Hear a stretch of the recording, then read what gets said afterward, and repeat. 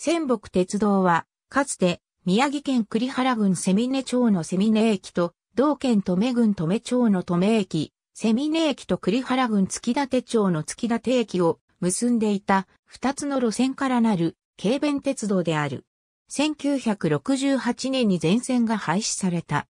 栗原郡の中心である月立町及び、留米郡の中心である佐沼町と近郊というを東北本線と連絡して米などの農産物輸送、及び旅客輸送を図る目的で、1921年に開業した。当初蒸気動力であり、1930年頃に、機関の 762mm から 1067mm への改め機と電化なども検討されたが実現せず、機動車の導入を経て、戦後はディーゼル動力化され、最後まで非電化であった。戦時中には宮城県東北部における交通統合の主体となる。これにより広大な営業エリアのバス事業者となった。後に塩釜交通、古川交通、仙台鉄道の3社を系列に収めている。3社は合併し、宮城バスとなった。鉄道末期の1964年には、その宮城バスを九州合併し、宮城バスに改名、同時に本社をセミネ町から仙台市に移転する。セミネ町には鉄道管理所が設置されて、鉄道線名については宮城バス、仙北鉄道線と称した。この名称から仙北鉄道が宮城バスに吸収されたように見えるが、誤りである。当時の仙北鉄道は宮城県最大のバス路線網を持つ会社に発展していたものの、鉄道の経営状態はピークを過ぎていたため、将来バス専業会社に移行することを見越しての合併であった。鉄道線廃止時点でも、その採算自体はまだ危機的状況にまでは至っていなかった。将来の設備更新費用等を勘案すれば、バス化する方が輸送力増強、合理化の面から特策とした長期的経営判断によるものであった。本社鉄道バスその他廃止時点のもの、止め線なお、全線開業後の1924年に、米谷浅水駅から静川に至る路線を重役会において審議決定し、運輸局に申請したが、1925年に不許可となり、路線延長はならなかった。廃止後、路盤の多くが宮城バスの専用道路となったが、維持費用の負担が重荷となり、現在はすべて自治体に移管されている。代替バス路線は1970年に宮城交通止め線となり、国鉄民営化の数年後まで連絡運輸を行っていた。1995年には分離市会社の都を止めバスとなったが、新田、佐沼仙台の高速バス開業による利用率減少で2005年10月1日廃止、止め市民バスに引き継がれた。月立線1923年、月立線の開通や栗原軌道の開業に影響された市波様町の有志による月立線延長計画が持ち上がった。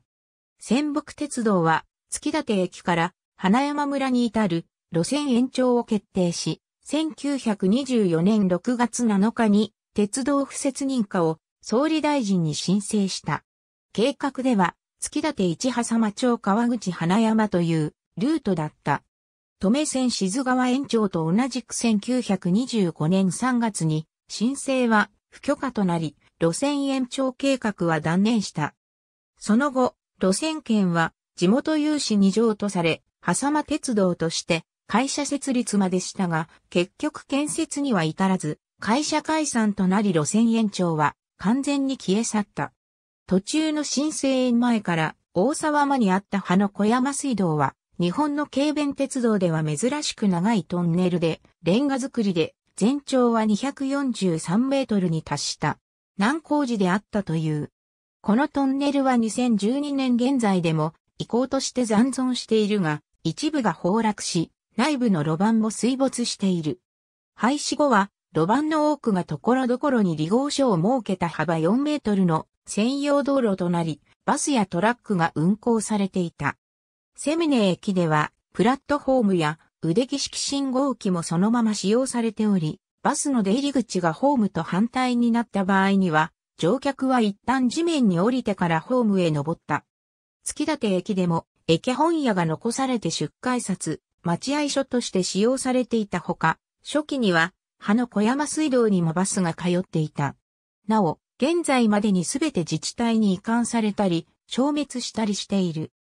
鉄道廃止後の代替輸送は、仙北鉄道バスに始まり、宮城バス、宮城交通を経て、宮古栗原バスの玉沢線として、その後の会社の系譜に沿って運行されてきたが、2006年9月30日に赤字路線整理のために廃止された。廃止後は栗原市民バスに引き継がれ、鉄道開業以降続いてきた宮城、交通関連会社から完全に離れることになった。1912年に現在の石巻線に相当する小牟田と石巻の間の鉄道路線を開設した仙北軽便鉄道は第2期線として登米から石越を経由して月立に至る鉄道路線を敷設する構想を持っていた。これに対して登米郡の計画線上の町村は寄付金の用意をしていたが、結局この第2期線は着工されなかった。1914年に千葉種や星角平等が三陸軽便鉄道を立ち上げ、セミネから南方、佐沼、石森、宝郷、上沼を結ぶ鉄道の建設を目指した。仙北軽便鉄道も第2期線の計画をセミネ起点に変更して国に建設許可を求める認可申請を行ったが、三陸軽便鉄道と競合するという理由で却下された。国から鉄道の敷設許可を得た三陸軽便鉄道だったが、着工されないままこの計画は消滅した。1915年に宮城県知事に就任した浜田幸之助は交通機関の新設を奨励した。これにこうして、留米郡の有志が鉄道の実現を目指して、規制同盟会を結成し、活動を始め、1917年になると、留米軽便鉄道株式会社が発足した。発起人には、佐藤仁久明、山田義三郎、仙北軽便鉄道の社長でもあった荒井康春が名を連ねた。留軽便鉄道は、藤里村から留町に至る鉄道を計画四国に認可を求め、1918年にこの免許が降りた。1919年年初の創立発起人会を経て、同年3月に創立総会が行われ、この時に仙北鉄道株式会社へと社名が変わった。一方、月立においても、鉄道の敷設を目指して、規制同盟会が活動していた。止めの鉄道計画が具体化しつつあるのを知った、月立の規制同盟会は、これと同時に、月立の鉄道路線を実現するのが適当であると考えて、止め軽便鉄道と交渉することにし、1919年3月の創立総会を訪れた。この会談で、仙北鉄道から全処するという回答をもらい受けた、月立側は満足し、鉄道の敷設に必要となる敷地を関係町村で寄付することを申し合わせた。月立線の計画は、同年5月に行われた仙北鉄道の臨時株主総会で可決され、建設が実現されることになった。止め線は1919年に測量が行われ、1920年に着工された。1921年7月にセミネから佐沼の間が開業し、狭間川への架橋や止め駅付近での岩盤掘削に時間を取られた佐沼から止めの間は同年9月に完成し、10月5日から営業を始めた。開通式は10月10日に行われ、式場として予定された止め駅と駅前広場は満幕や紅包み明かり、アーク灯で彩られたが、当日の天候が降雨だったために、止め期間庫の中で式典が行われた。また、10月10日、11日、12日が祝賀の日とされて、沿線では昼夜問わず祭事が行われ、花火も打ち上がったという。止め線全線開業時点で、セミネ、高石、佐沼、石森、水越、米谷浅水、止めの7駅があり、また機関車3両、客車7両、貨車30両があった。セミネと止めの運賃は波島で72銭、特等はその倍で1日に後往復の列車が運行された。月立線の敷設認可は1920年に降りた。水害や雪害、資材不足の影響で月立線の着工は危ぶまれたが強行して行われた。月立線の経路は軽便鉄道としては比較的長いトンネルの掘削を含んだ難工事であり、1923年7月22日に至って開通した。この日は運賃不要で乗車できたことから多くの人で列車が賑わったという。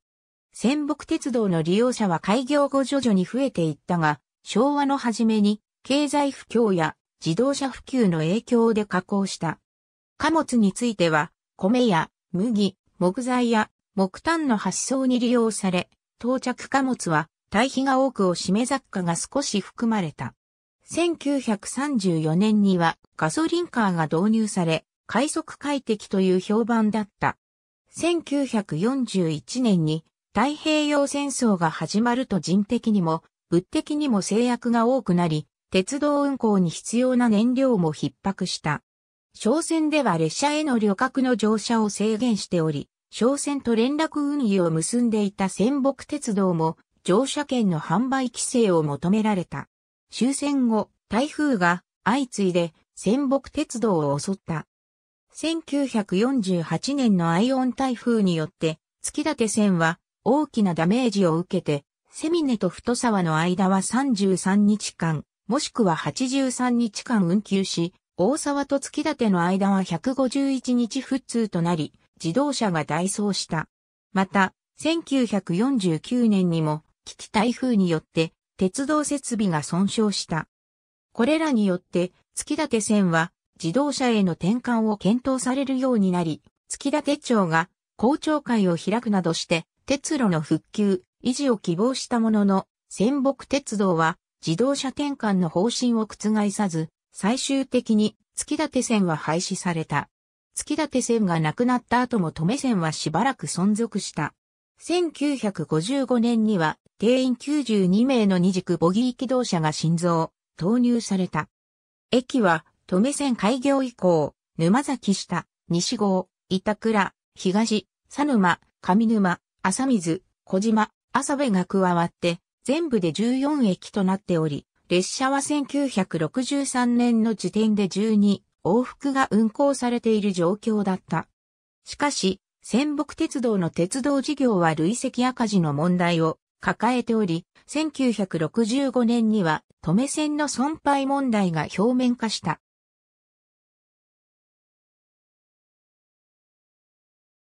中電町長議会は、止め線廃止に反対する決議をし、止め町や東和町もこれに続いて、止め線廃止反対運動を行った。この時、廃止反対派と仙北鉄道から名が変わった宮城バスの間を衆議院議員、大石武一が取り持ち、バスなどによる代替交通の維持などが両者の間で確認され、最終的には止め線の廃止が決定された。こうして、止め線は1968年に約半世紀にわたった使命を終えてその幕を閉じた。旧止め駅舎1968年頃セミネ、沼崎下西郷高石板倉佐沼東、佐沼石森上沼浅水米谷小島、浅部止め1946年頃セミネ、藤里、新生園前から大沢玉小木月立事業者名等は廃止時点のもの。セミネ線、月立線共通。蒸気動力で開業したが、1934年からは旅客輸送にガソリンカーを導入。戦後はガソリンカーのディーゼル化とともにディーゼル機関車の導入を早くから進め、1953年に蒸気機関車を追放する無塩化と完全ディーゼル化を終えている。先進的かつ意欲的な措置であった。延べ8両が在籍。アメリカのポーター社製機関車が5両を占めた。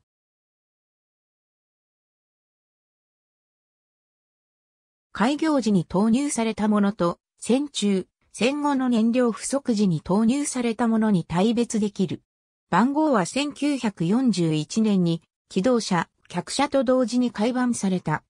1950年以降の機動車のディーゼル化が良好な成績を収めたため、貨物列車牽引もディーゼル化することとなり、3両のディーゼル機関車が増備された。いずれも福島県の共産工業製である。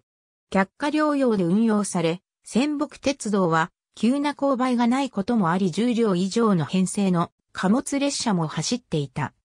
機関車のうち DC103 は1968年3月の廃線後に磐梯急行電鉄に譲渡されて営業運転に当てられたが、譲渡されてすぐの1968年10月には磐梯急行電鉄線が営業休止、翌年廃止となったため廃車されている。大正中期のバスやトラックの普及による輸送量の減少に対応するため、1933年10月に役員が十和田鉄道の導入したガソリンカーの視察を行い、同年11月28日には3両のガソリンカーの購入を決定している。ガソリンカーは1934年以後増備を重ね、旅客輸送の中心となっていった。機動車はいずれも機械式変速機装備。戦前には反抗性ガソリンカーを5両投入したが、戦時中の燃料入手難によりキハ2401から2404は1948年以降、順次木炭ガス発生装置を搭載して来年車となり、さらにキハ2404、2405は一時客車化された。戦後は各社が動力車として復活したが、キハ403は再度客車化されている。その他のボギー車は1953年までにディーゼル機関に乗せ替えられたほか、1955年には大型車のキハ2406を増備した。キハ403を除き、通常、客車を牽引して走ることが多く、ラッシュ時には、機動車2両、客車4両の6両の長大編成も走っていた。車番整理命令の名残が、東北の少なからぬ私鉄で戦後でも残っていたのである。各社で400番台車が多かったのは、多数派である2軸ボギー車の場合1両あたり合計4軸となることに起因するものとみられるが、仙北では4輪2軸単車のキハ3についても、キハ403と解消しており、その詳細な解消事情は、伺い知ることはできない。機動車のうち、キハ2401、2402は1968年3月の廃線後に磐梯急行電鉄に譲渡されて営業運転に当てられたが、ほどなく1968年10月に磐梯急行電鉄線が営業休止、翌年廃止となったため廃車されている。なお、キハ2401は解体されず、個人に売却されたようである。もともとは蒸気機関車に牽引され、後には主として機動車に牽引されていた。すべて木造車でもともとオープンデッキであったものを側扉付きに改装したものが多い。これらの内中化統合作り車は1941年頃に加藤となり合わせて改板もされた模様。国葬地帯を走る路線であることから米の輸送量が多く、これに対応して有害貨車を中心に48両の貨車が在籍しており、すべて木造の二軸車であった。取締役だった鈴木千恵蔵は、後に宮城交通社長に就任するが、同時に宮城テレビ放送の初代社長も兼任。その後は会長となり、1976年に相談役を退任するまで関係していたが、仙北鉄道、宮城バスとの資本関係はない。現在、鈴木家は宮城交通、東日本急行の主要株主である。ありがとうございます。